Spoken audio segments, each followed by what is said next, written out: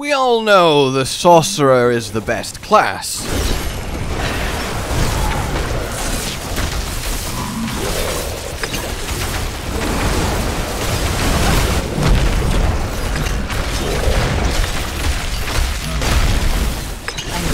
How do you feel about using your ultimate ability every like 10 seconds? And no, this footage is not sped up. I know what you're thinking. Actually, it's like Necro or Barbarian or Druid or Rogue. And look, it's okay to be wrong. In all seriousness, no. All the classes are, of course, awesome in their own right and plenty powerful. But I am very much, well, all in on the Sorcerer. It is what I've always enjoyed in these types of games. I just love the pretty magic going boom.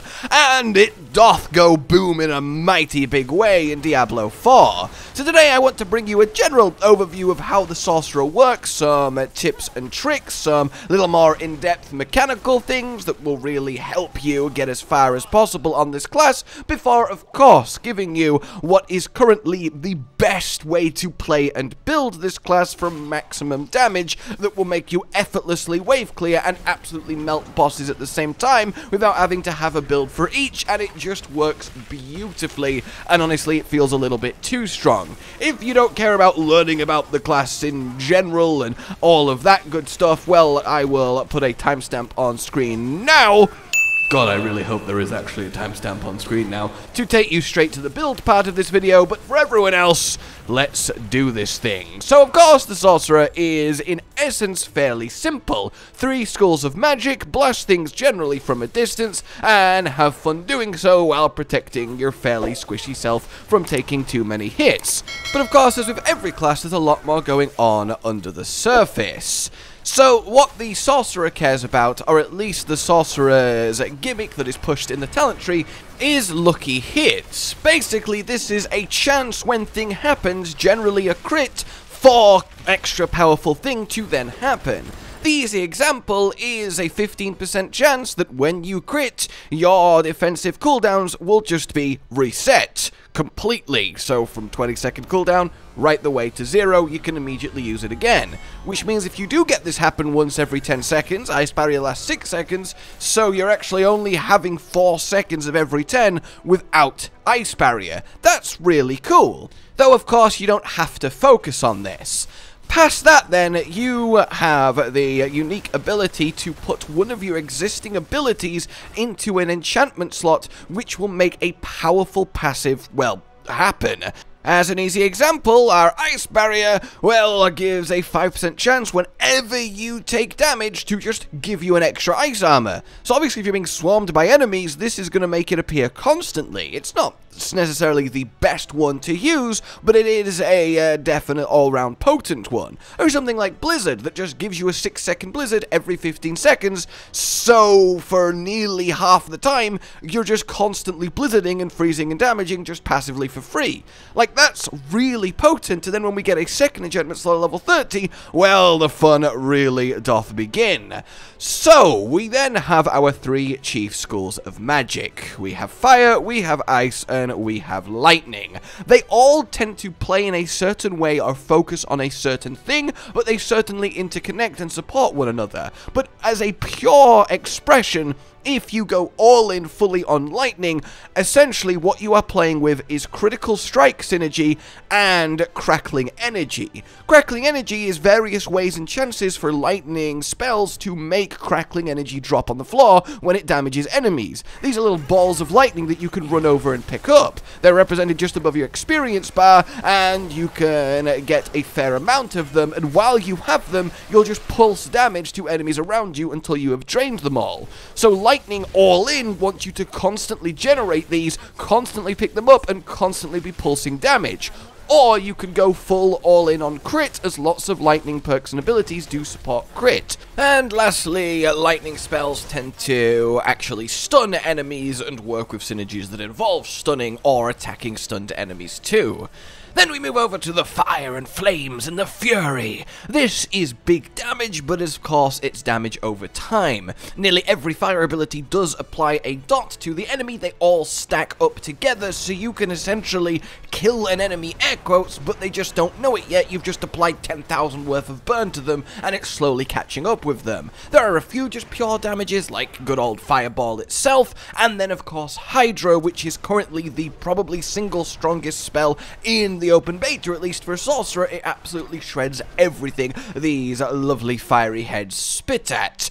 Fire then very much is amazing at single targets. You can just apply a load of burns, then run around and survive while they just die. And it also does work well in groups because there is a lot of area of effect going on here. But again, it's not burst damage. You are going to have to wait for people to die. And finally, fire also is all about immobilizing enemies, so they can't move, they can still do range attacks and cast at you, but they are rooted to the spot, and that works quite well too. Basically, all three trees have their way of CC. Lightning with stun, fire with immobilize, and then of course now we talk about frost with freezing. Of course, that's the thing that comes to mind when we look at the ice spells, and indeed it is fully encasing the enemies in ice, and while they're in ice, they're just at your mercy. You're going to absolutely destroy them, and a lot of Frost synergy comes from attacking enemies that are frozen for massive bonuses, such as, you know, just pure massive bonus damage, which is really good. Frost also brings itself a lot of utility, and it's definitely all about making enemies vulnerable too.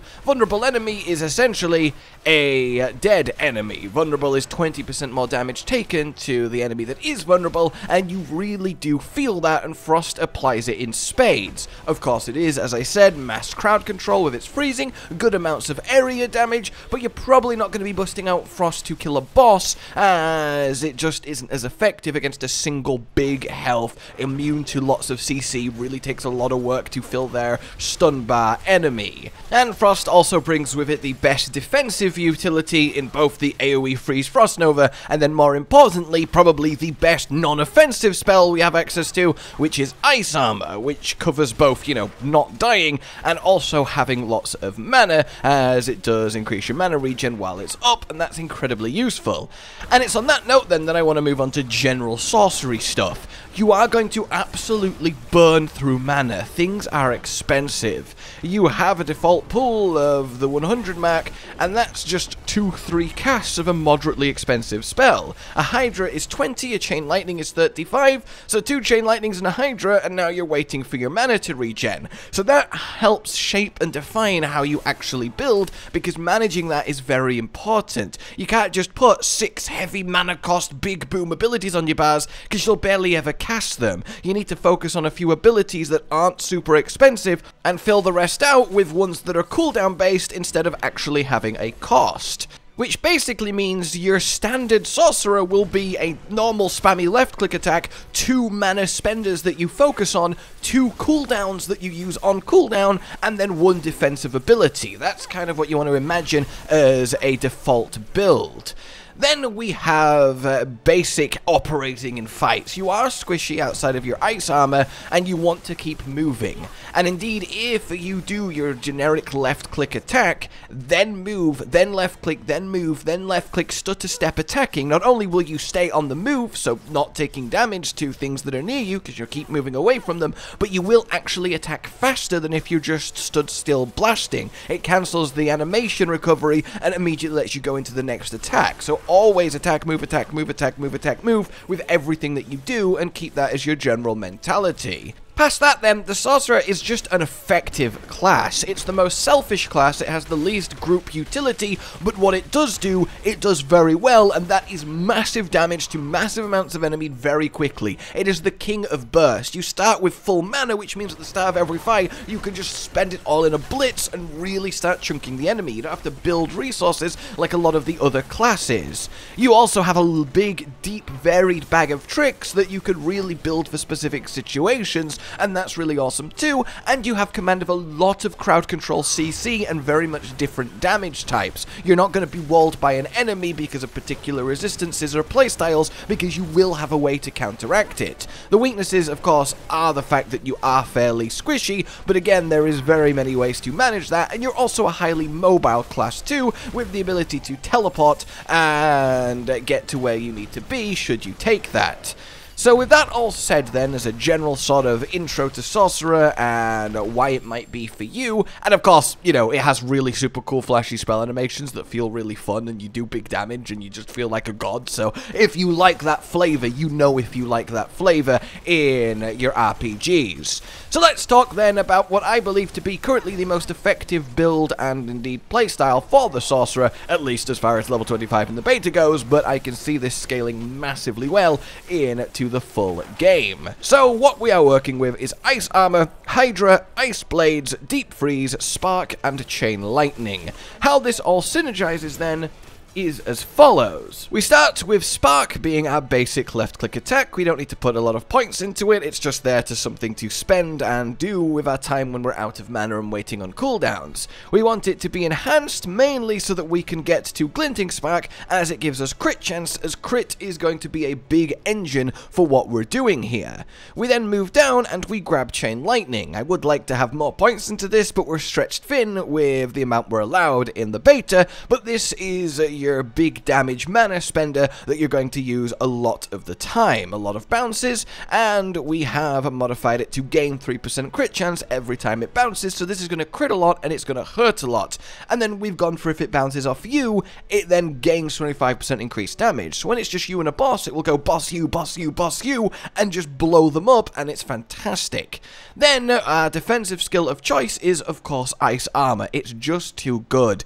Basically unkillable while it's on, your damage itself fuels it, and then what we want is just the single enhanced to get that 25% mana regen so we can blast off more abilities while in ice armor, and the build is also all around having that ice armor uptime, and it does that incredibly well. So it works really effectively. Of course, we grab maximum glass cannon because just pure 80% increased damage is more than worth taking 9% more, and then we want this, elemental attunement, lucky hit, 15% chance for a crit to completely reset the cooldown of a defensive skill. Our only defensive skill is ice armor. So it has a 20 second cooldown and you've got a 15% chance per crit and we are critting constantly thanks to enhanced chain lightning and indeed our glinting spark here on top of our natural crit chance. So then this ice armor just immediately gets set to zero and we can pop it on again. Yes, it only happens once every 10 seconds, but it's really good. And it also feeds into the synergy of our chosen ice blades here. So this will float around and attack enemies and then has a good chance to make them vulnerable vulnerable and take 20% more damage. That's really, really good. But we also have then enhanced Ice Blades, which means when they do hit a vulnerable enemy, a random cooldown is going to get reduced. I say random instead of Ice Blades because that's what this does. 50% chance that the cooldown reduction is applied to another skill. So if you've got a load of Ice Blades up hitting a vulnerable target, they're going to power down the cooldown of your ultimate Deep Freeze that we're choosing here really fast, and you can cast it much more often than every 58 seconds.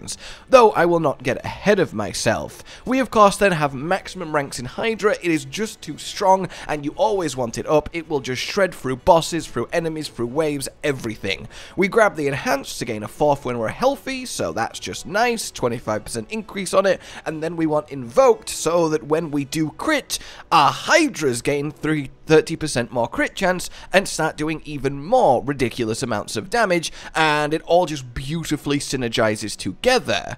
Then we have our ultimate as Deep Freeze, 4 seconds of invulnerability, gives you a breather, and then more importantly, completely freezes and does massive damage to everything around you. But another important component to Deep Freeze is it has a big cooldown. Technically, Inferno is massive damage and is the generically best choice, but we want that extra 20 second cooldown for two reasons. It's getting reduced anyway thanks to the Ice Blade synergy, but our chosen... Uh, passive enchantment of choice is Ice Blades. Which means for every 20 seconds in cooldowns we spend, we spawn an extra Ice Blade.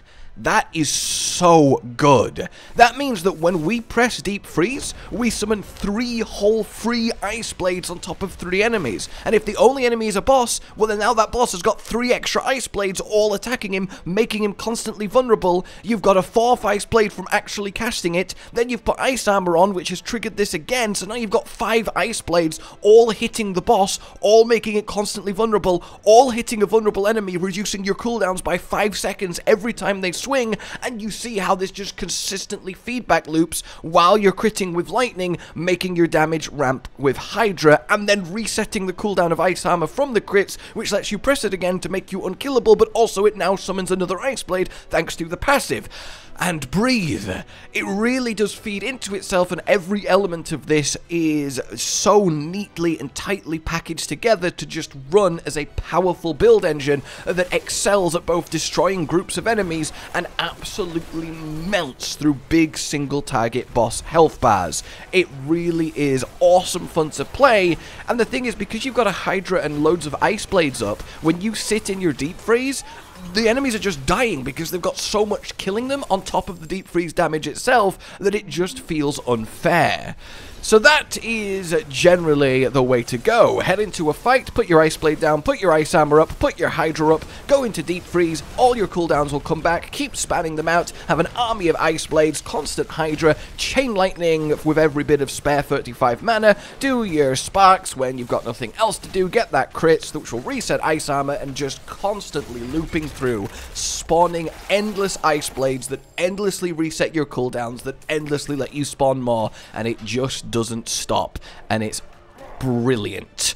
Alright then, in terms of legendaries, as a quick little note, what we care about is uh, the ones that increase your crit chance for obvious reasons. We care about more damage in barriers because we're in barriers constantly. The extra Hydra is fantastic as Hydra is our main source of damage and a 23% less chance of it being up is definitely worth having just an extra whole one. And past that, just anything that's generically good or helps a specific move that we are using in the build here. I hope then this has given you a kind of strong direction and an example of just how powerful the Sorcerer can be, and I hope you very much enjoy testing it out in this upcoming Open for Everyone beta weekend, and indeed as we move towards the full game proper. For now then, thank you very much for listening, like if you've enjoyed this, subscribe and hit the bell for more, consider supporting the future of the channel on Patreon down below, and until we meet again, a Josh, Cotton, and Hollow with the videos, dropping the humor like a hammer on your tippy toes, bringing entertainment on a daily arrangement to take our insanity and turn it into entertainment. Yes, I said entertainment twice to reiterate that it is nice to look into your faces on a mostly daily basis when you let us in your homes to make the whole world a stage. Is uh goodbye.